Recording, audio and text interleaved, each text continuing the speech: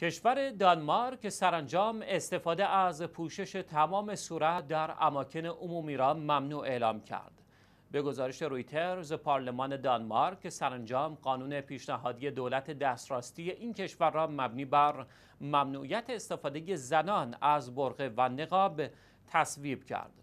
بدین ترتیب دانمارک نیز به فرانسه و دیگر کشورهای اروپایی در تصویب این قانون پیوست. بر اساس این قانون که از اول ماه اوت به اجرا در خواهد آمد پلیس حق ندارد. نقاب را از روی صورت زنان بردارد اما می تواند آنان را جریمه و یا مجبور کند به خانه خود بازگردند.